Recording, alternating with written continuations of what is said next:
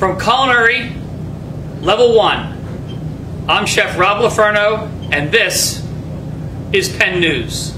It's Penn News with your host, Anna Zimmerman, Brandon Boykin, Journey Brandon, Naya Morris, Savannah Bennett, Zoe Oliver, Tyler Gabor,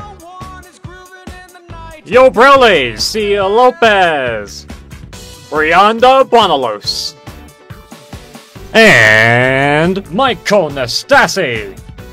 Good morning.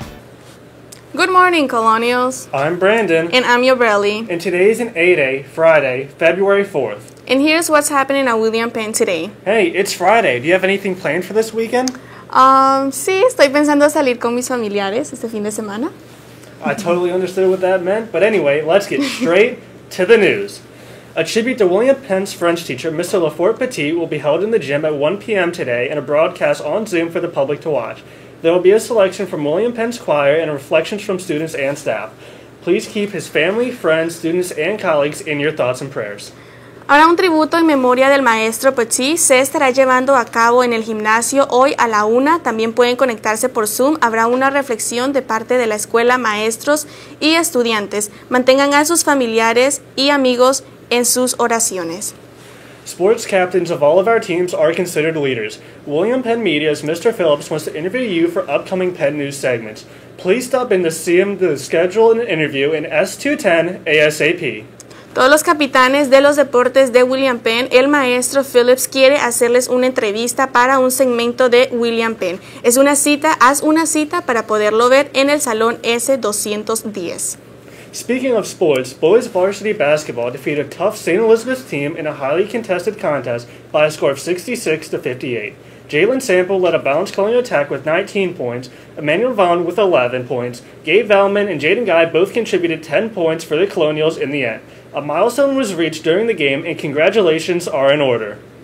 Los chicos del equipo de baloncesto le ganaron a San Elizabeth con 66 puntos contra 18. James Jalen atacó con 19 puntos, Emmanuel con 11 puntos, Gabe atacó, Gabe con Jaden atacaron con 10 puntos. Felicidades a todos. Here's something big to add. Big congratulations to Gabe Valman, who scored his 1,000th career point on a three-pointer made early in the first quarter. The players, coaches, managers, and entire school family are very proud of you. On Saturday, the freshman and JV teams travel to Archmere for games at 10:45 a.m. and at noon. The varsity travels to the Chase Fieldhouse at 6 p.m. to play Caravel. Felicidades a Gabe Valmont, quien hizo mil puntos en su carrera. Los jugadores, entrenadores de la escuela están muy orgullosos de ti. El sábado los estudiantes del primer año estarán yendo a un partido a las 10.45 de la mañana y terminará a las 12 de la tarde. Student Council will be selling candygrams outside Cafe One in the main lobby during lunch on Tuesday, Wednesday, Thursday, and Friday. So buy your candygrams during lunch. Los estudiantes estarán vendiendo dulces fuera de la cafetería, uno el martes, miércoles, jueves y viernes, así que para a la hora del almuerzo para comprar tus dulces. Well, that's it for us. Have a great weekend, Colonials, and, And go win! win.